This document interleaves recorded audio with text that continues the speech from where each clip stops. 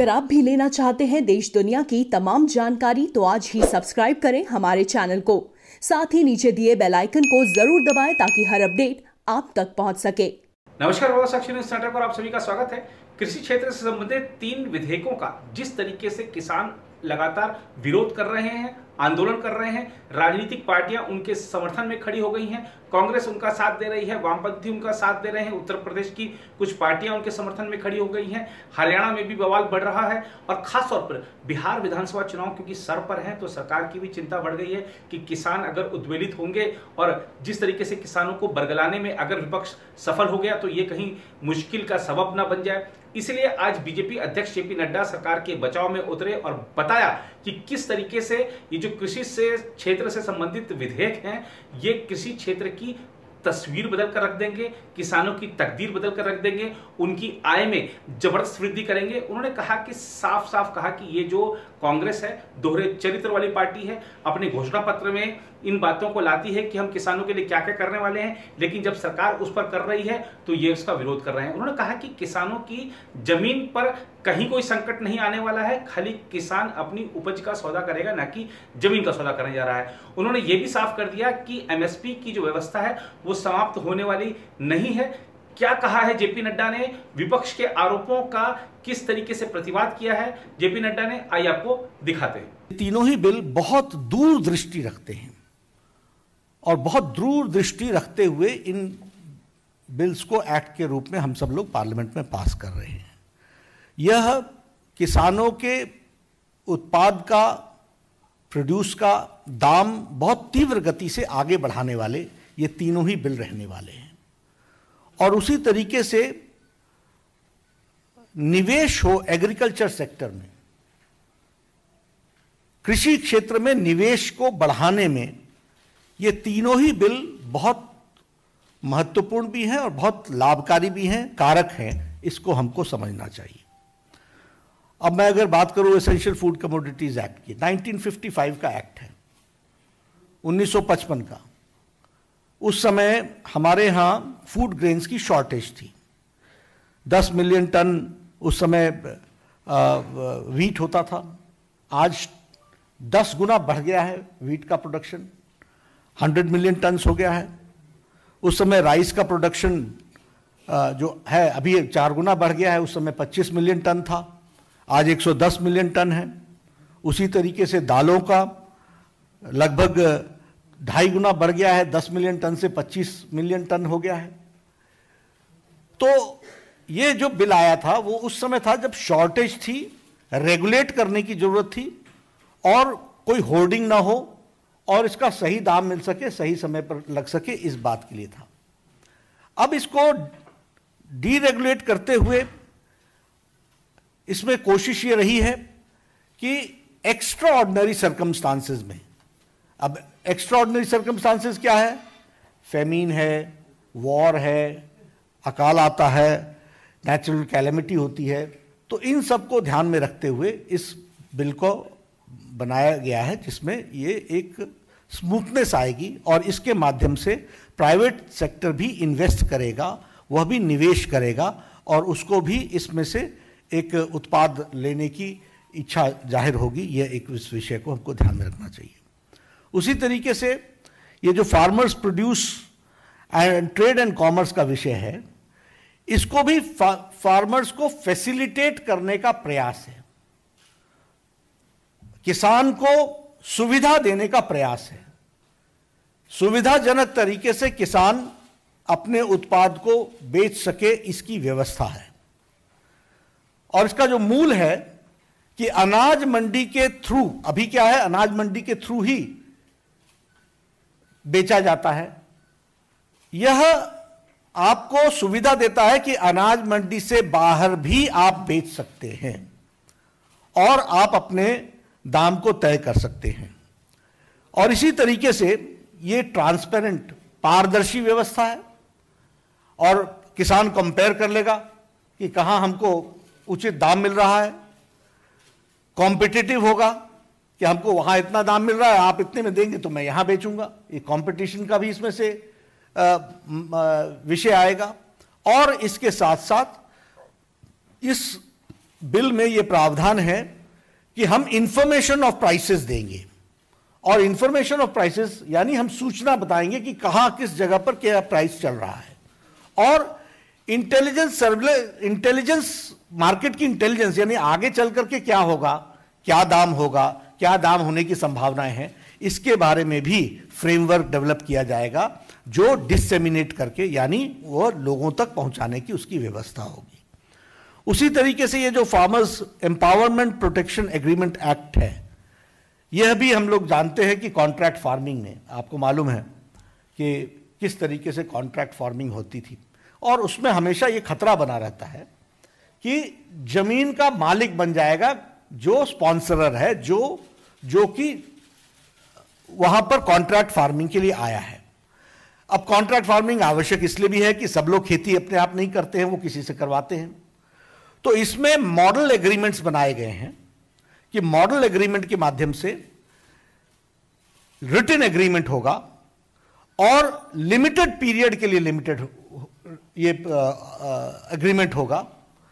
Agreement जो होगा, वह उत्पाद के, जो उत्पाद होगा, उस पर होगा।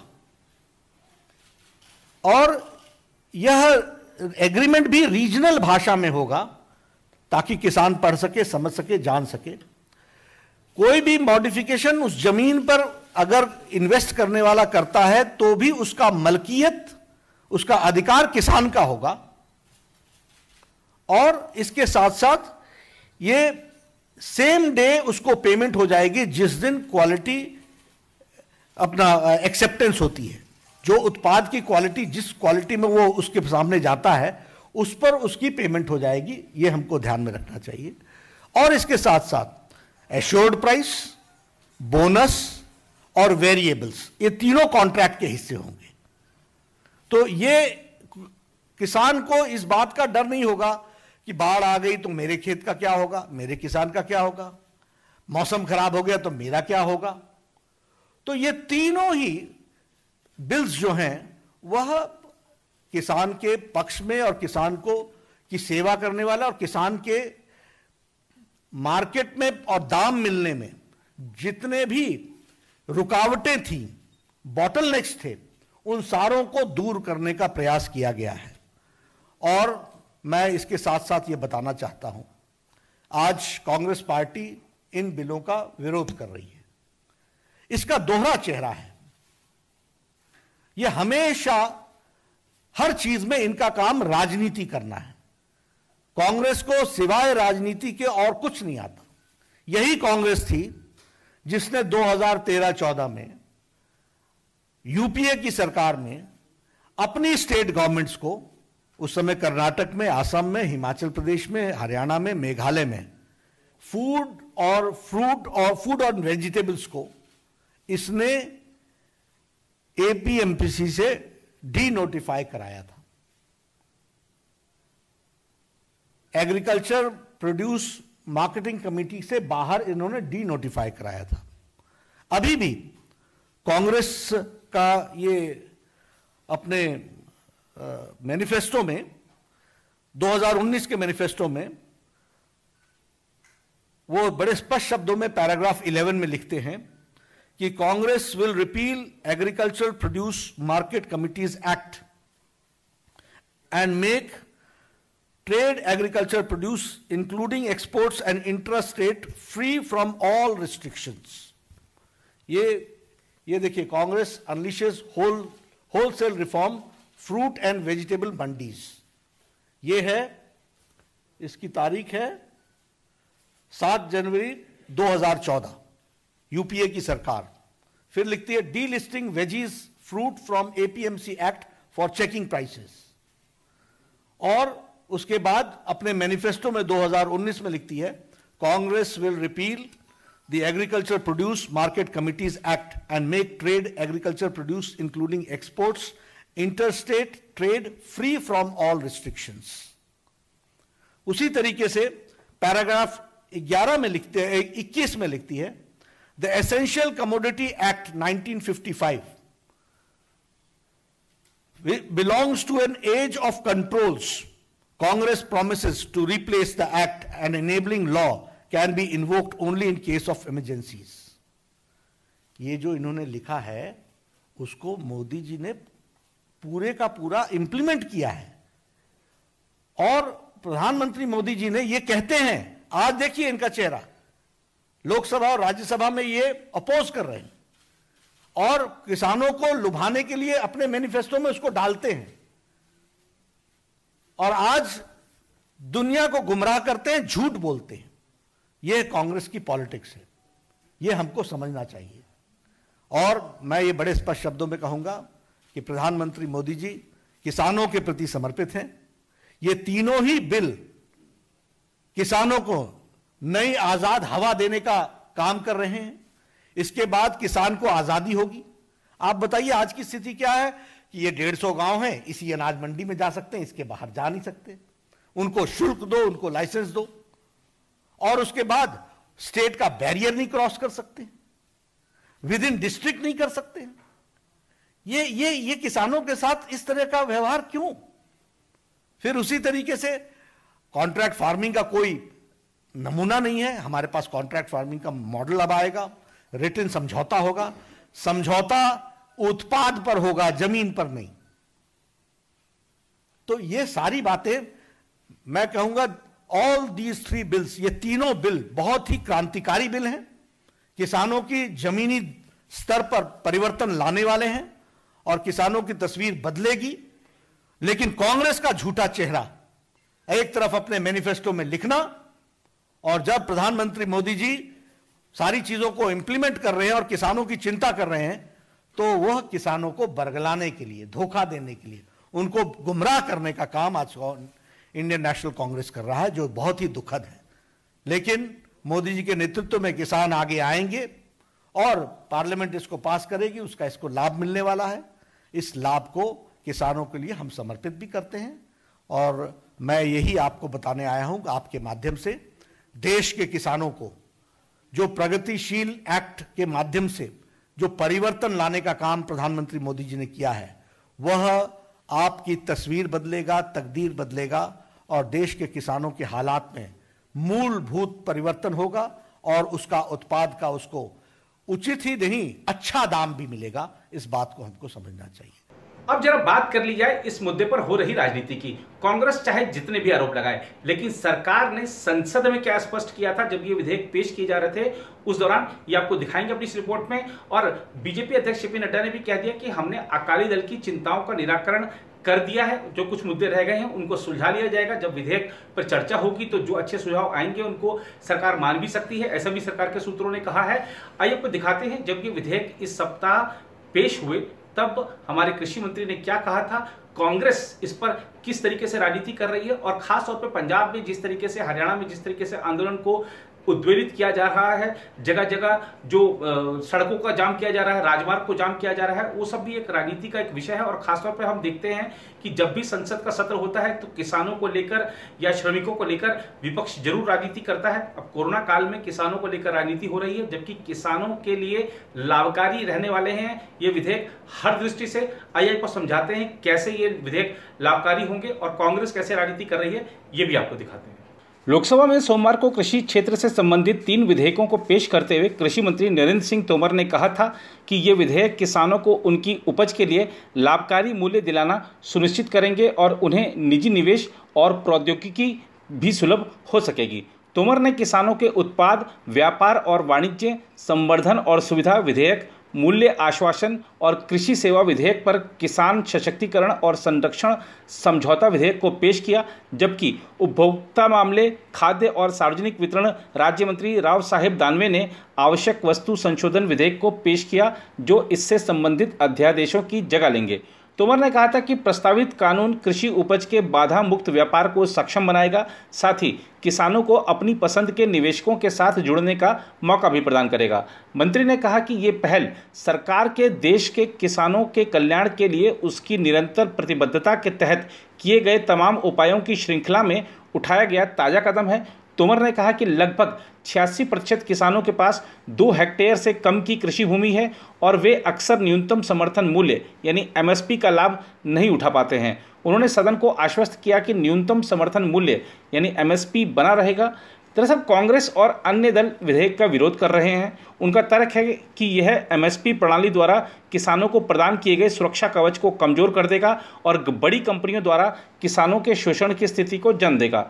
जबकि कृषि मंत्री का कहना है कि यह विधेयक किसानों की मदद करेगा, क्योंकि वे अपने खेत में ज़्यादा निवेश करने में असमर्थ हैं और दूसरे लोग उसमें निवेश नहीं कर पाते हैं। उन्होंने कहा कि विपक्षी सदस्यों को केंद्र पर भरोसा करना चाहिए।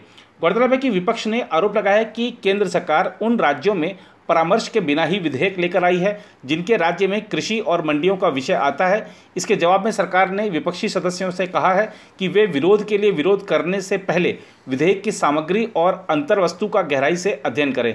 सरकार का कहना है कि किसानों को इन कानूनों से काफ़ी फ़ायदा होगा, क्योंकि वे अपने उत्पादों को बेचने के लिए निजी कारोबारियों से समझौता कर सकेंगे। ये समझौते उपज के बारे में होंगे, ना कि खेत की ज़मीन के बारे में। सरकार ने इस आशंका को निर्मूल बताया है कि इससे किसानों को अपनी ज़मीन का मालिकाना हक खोना पड़ सकता है। दरअसल कांग्रेस का कहना है कि संवैधानिक प्रावधान बहुत स्पष्ट हैं कि कृषि राज्य सूची का विषय है। विपक्ष को आशंका है कि इस विधेयक के माध्यम से केंद्र सरकार विभिन्न राज्य सरकारों द्वारा बनाई गई कृषि उपज बाज़ार समिति, यानी एपीएमसी कानून को रद्द कर देगी। केंद्र सरकार इस तरह का कानून बनाने के लिए सक्षम नहीं है, ऐसा विपक्ष का कहना है। विपक्ष का यह भी कहना है कि यह विधायी अतिरेक का मामला है और संविधान के संघीय ढांचे पर सीधा हमला है। राहुल गांधी ने तो कृषि से संबंधित विधेयकों को किसान विरोधी षड्यंत्र करार देते हुए कहा कि इससे किसानों को नहीं, बल्कि बड़े बड़े उद्योगपतियों को आज़ादी मिलने वाली है। राहुल गांधी ने ट्वीट किया, किसान ही हैं जो खरीद खुदरा में और अपने उत्पाद की बिक्री थोक के भाव करते हैं। मोदी सरकार के तीन काले अध्यादेश किसान खेतीहर मजदूर पर घातक प्रहार हैं, ताकि ना तो उन्हें एमएसपी व हक मिलें और मजबूरी में किसान अपनी ज़मीन पूंजीपतियों को बेच दें। उन्होंने आरोप लगाया, यह मोदी जी का एक और किसान विरोधी षड्यंत्र है। उधर तृणमूल कांग्रेस सदस्य स्वागत राय ने दावा किया है कि इन विधानों के कारण खेती पूंजीपतियों के हाथों में चली जाएगी। इस बीच तेलंगाना विधानसभा ने केंद्र सरकार द्वारा प्रस्तावित बिजली संशोधन विधेयक 2020 के विरोध में मंगलवार को एक प्रस्ताव पारित कर दिया और दावा किया कि विधेयक किसानों और गरीबों के हितों के खिलाफ है और राज्यों की शक्ति छीन लेगा। मुख्यमंत्री के चंद्रशेखर राव द्वारा पेश किए गए प्रस्ताव का विपक्षी दल कांग्रेस ने समर्थन किया और केंद्र से विधेयक वापस लेने की मांग की। उल्लेखनीय है कि कृषि, उत्पाद, व्यापार और वाणिज्य, संवर्धन और सुविधा अध्यादेश 2020 राज्य सरकारों को मंडियों के बाहर की गई कृषि उपज की बिक्री और खरीद पर कर लगाने से रोकता है और किसानों को अपनी उपज को लाभकारी मूल्यों पर बेचने की स्वतंत्रता देता है। वर्तमान में किसान को पूरे देश में फैले छः हज़ार नौ सौ एपीएमसी, यानी कृषि उपज विपणन समितियों, मंडियों में अपनी कृषि उपज बेचने की अनुमति है। मंडियों के बाहर कृषि उपज बेचने में किसानों के लिए प्रतिबंध है।